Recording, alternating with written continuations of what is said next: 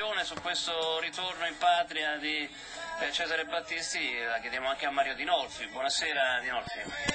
Buonasera a voi, Beh, una buona notizia, ora spero cali un po' di silenzio, che faccia il paio con la pace che finalmente possono respirare le famiglie delle vittime. Io ricordo, sono stato in televisione alla 7 proprio mentre arrivava la notizia eh, la mattina stessa e avendo scritto un libro sul terrorismo in Italia ho ricordato le vittime perché di Battisti abbiamo chiarissimo il nome, il cognome, la, le fattezze fisiche, delle vittime abbiamo scordato quasi tutto, tra cui l'ultima vittima di Battisti fu un ragazzo di 24 anni ucciso con 5 pistolettate, faceva il servitore dello Stato, si chiamava Andrea Campagna ucciso il 16 di aprile del 79, 40 anni dopo finalmente per lui c'è giustizia e pace e io chiedo a questo punto anche silenzio perché non merita neanche secondo me la particolare sottolineatura che mediaticamente è stata offerta. Oggi sì, ieri pure, ma adesso basta, adesso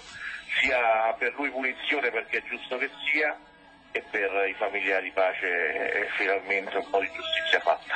Oh, guardi, la giusta chiusura, perché poi anche per motivi diciamo, di tempi radiofonici non avevamo ricordato quello che ha fatto lei in pochissimi istanti, cioè i nomi delle, eh, delle vittime. Mm, sono perfettamente d'accordo con lei anche sul discorso non del... Nessuno, non è colpa vostra, non te li ricordo No, no noi non abbiamo potuto perché avevamo diversi ospiti che ovviamente sui quali poi siamo andati magari più sul dibattito politico e tutto quello che è nato in eh, queste queste ore. Poi chi ha avuto voglia in questi giorni, perché giustamente è intervenuto un magistrato come Di Pietro, il quale ha puntato il dito anche sulla ignoranza, no? nel senso stretto del termine, di chi oggi come oggi non sa cosa accadde qualche decennio fa. Ci sta pure, l'importante poi è eh, dire, documentarsi se si ha voglia. Quindi grazie ad Adinolfi per aver fatto questo passaggio che forse a noi era, era sfuggito. Però non l'abbiamo voluta, io l'ho voluta eh, perché eh, una settimana fa una sua intervista intervista su delle posizioni che sono sempre le sue, questo lo, sazia, lo sappiamo, Presidente nazionale del Popolo della Famiglia, ma oggi riappariva un, un tratto di questa intervista che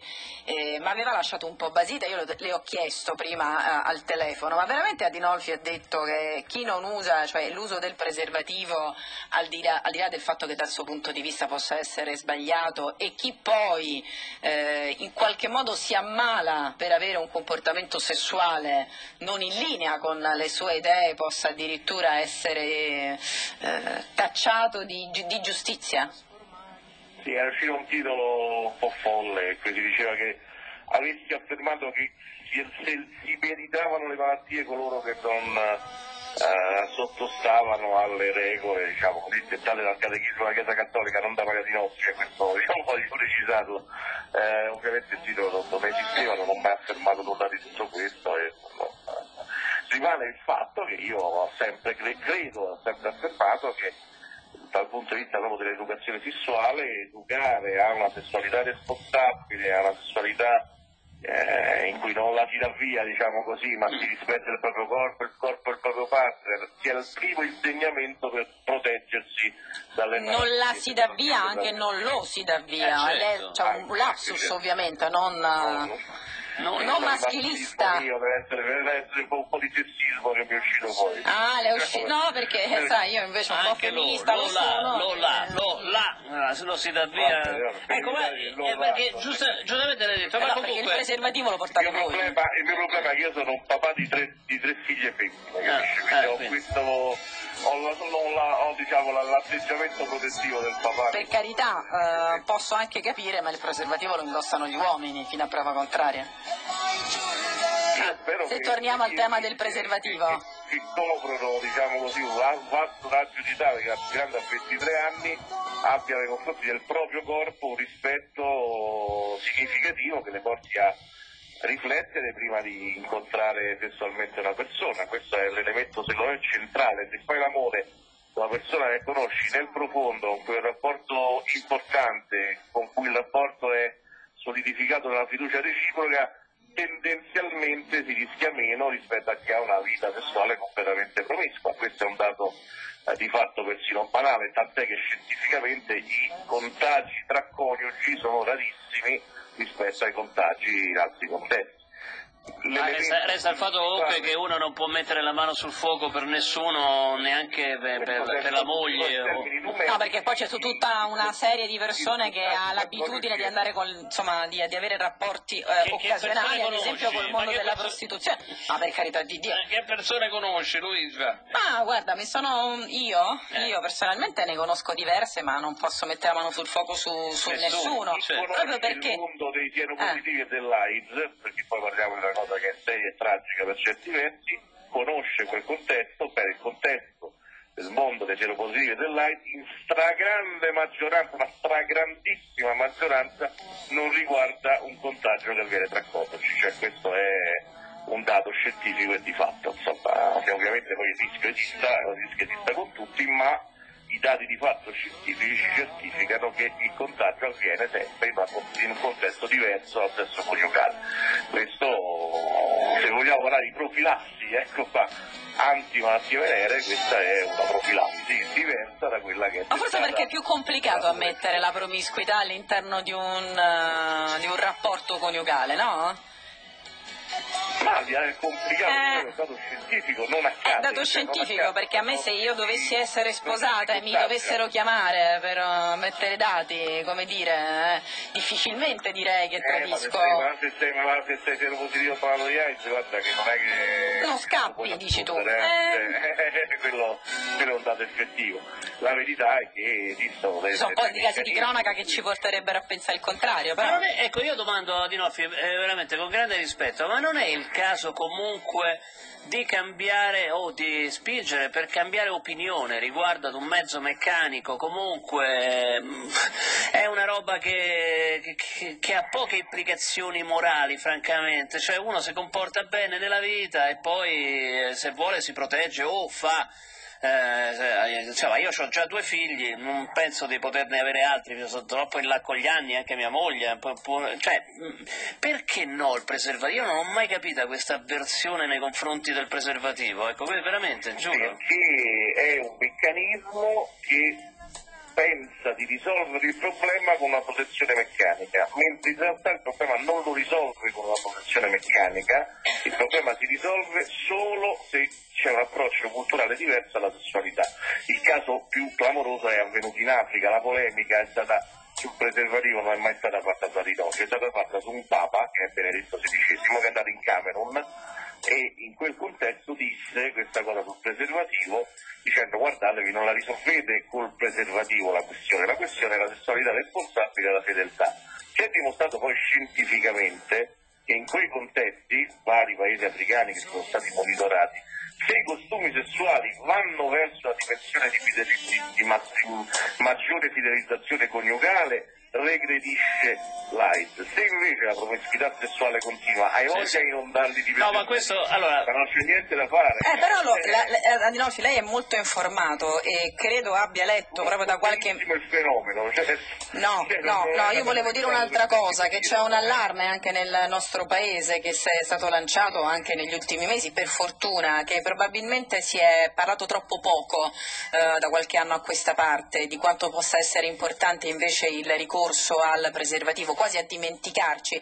Capisco il suo punto di vista, posso più o meno condividerlo, ma ci si dimentica poi che la realtà, ad esempio in Italia, mi fermo solo in Italia, sia un'altra, che a 12, 13, 14 anni i nostri ragazzi già, hanno già dei rapporti sessuali, ha voglia a predicare che bisognerebbe preservare la propria sessualità, ma a 12, 13, 14 anni si hanno già dei comportamenti estremamente promiscui e quindi credo sia um, dire, fondamentale che l'educazione sessuale intervenga intanto mettendo in mano un preservativo alla propria figlia e al proprio figlio. Sì, anche, non solo per evitare l'AIDS, ma anche delle, sì. delle, gravidanze che a 15 anni sarebbero inopportune. Sì, per, però io di una, di una, gravidanza ne possiamo parlare, se ti prendi l'AIDS è più complicato.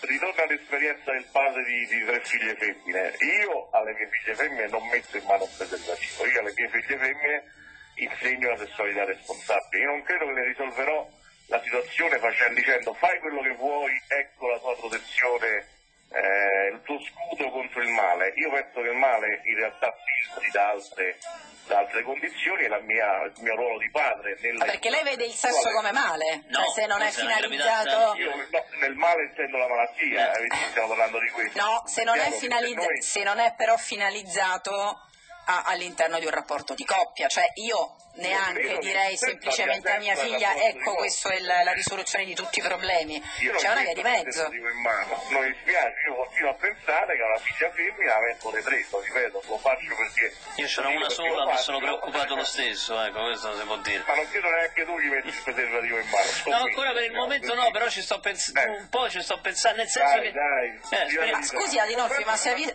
Torna in me... 12 anni, però... Torna però... in me la femminista, no? Quella di prima, cioè se avesse un figlio eh. maschio cambierebbe la sua posizione? Eh no, io proprio l'esempio in quella famosa intervista che poi scadeva sì. scandalo, è stato fatto sul figlio maschio che non ho.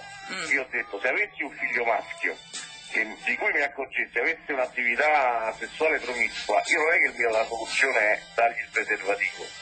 Se lui mi dice che o mi viene detto che va a prostitute regolarmente, non gli darei un preservativo, gli darei uno schiaffo. Eh, dopo che le ha dato lo schiaffo smetterebbe secondo lei di avere delle pratiche sessuali diverse dalle sue? Però non c'è bisogno. Eh, io questo lo capisco, lo schiaffo, però. No, un genitore. Mm, a 15 anni, mettiamo, mettiamo a 15 anni. Per il, per il comportamento sbagliato mm. o lo devi segnalare come sbagliato? Ok, io sono d'accordo, però allora a 15 anni magari eh, metto mia figlia, no? comincio a fare sesso, ho messo a 15 anni, eh, quindi... e, come faccio a impedire... A 15 anni? Eh, eh, è possibile, eh.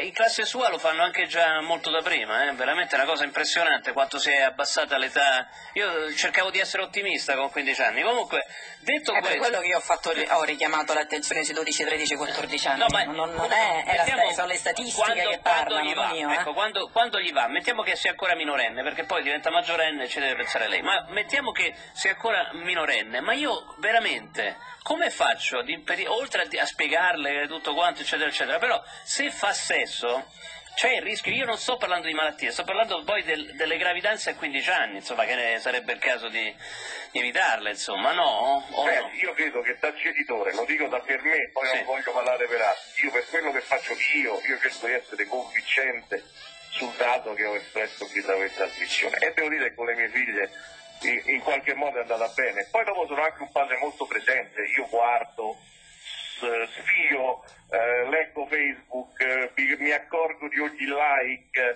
un padre geloso, diciamo così, all'italiana, per cui io cerco di monitorare i rapporti, quello che c'è, quello che accade, cerco di capire, non, non credo nella privacy della figlia minorenne, tanto per essere chiari, voglio sapere quello che accade e ho un, un approccio di questo tipo credo che esista un tempo per ogni cosa e a 15 anni io farò di tutto, perché la seconda ancora ci deve arrivare, tranne che mettergli il preservativo in mano. Questa è l'unica cosa che non farò, questo lo posso dire da subito. Cercherò di fare di tutto la sua maturazione diventi una maturazione più serena possibile, perché fare questo lo posso dire, sesso a 12, a 13 o 14 anni è male per una ragazza. Guardi, su questo sono perfettamente d'accordo, cioè io mh, mm, non, non, passi adesso il messaggio che ritenga che a 12 anni ci sia, sia tempo opportuno per, uh, per, fare sesso, per carità di Dio.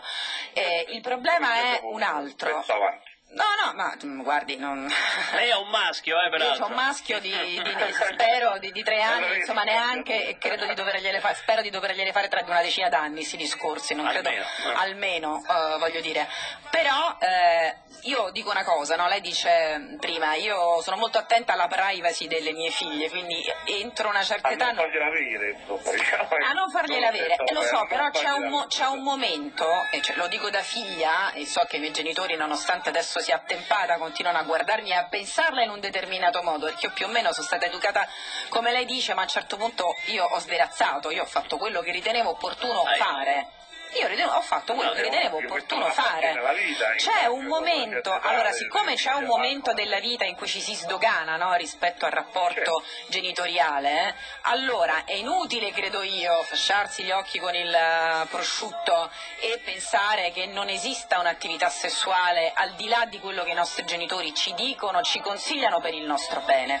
Poiché però ci sono degli strumenti che possono aiutarci, allora io non dico che ho visto, visto fare questo, tante madri vanno addirittura a me quando i, i figli maschi partono, mettono la, la, confezione di preservativi in valigia dei propri figli, tanto, cioè, tanto no, io. Cavallo, come ho visto... Cascavallo non mi risulta, no, l'ho visto in il uno cascacavallo non mi in risulta, uno... io ho visto, so di amici che ah. evidentemente c'è ancora una divisione maschio-femmina e su questo potremmo parlarne, però esiste uno strumento per la protezione e siccome vedo che eh, sessuologi, psicoterapeuti, mamme continuano a ripetere che questo problema esiste perché se ne parla poco, Adinolfi allora anche da lei un passo avanti, no? Non ci riusciamo, eh? Ma io penso che faccio un passo avanti dicendo quello che dico, tanto quello che dite voi lo dicono tutti, Ah, quindi che io, io, io dico quello che, che, che ritengo sapendo che il mondo intorno a me dice che invece il preservativo bla bla bla.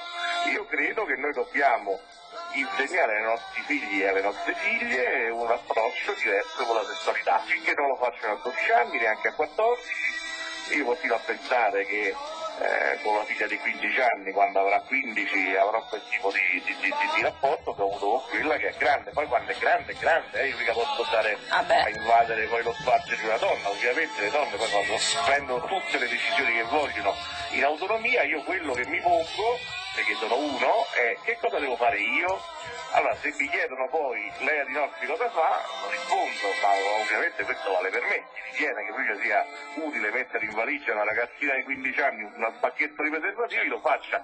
Devo dire la verità, io ancora non ho conosciuto un padre che mette il pacchetto di 15 preservativi alla figlia quindicenne, eh, quando va in vacanza. 15, per- una per ogni anno. No, Oh, io ho fatto la distinzione sui figli maschi, Eh, io ho fatto la distinzione so. sui figli maschi. Io, io, io sono, ho esperienza. Eh, dice diciamo, solo femmine, eh, non è un problema che- una. Ah, no, Eh, io ne conosco. di padre che fa questo nei confronti Certo. della figlia femmina. Oh, Adinolfi, prima di salutarci, però, visto che è padre di tre figlie femmine e visto che è tifoso della Juventus e visto che in Arabia le donne sono trattate malissimo, ma secondo lei, si gioca dopodomani, anzi andiamo in onda dalle 5 alle 6 perché poi c'è la diretta della partita, eh, si doveva giocare in, eh, a Jeddah in Arabia, secondo lei Juventus-Milan?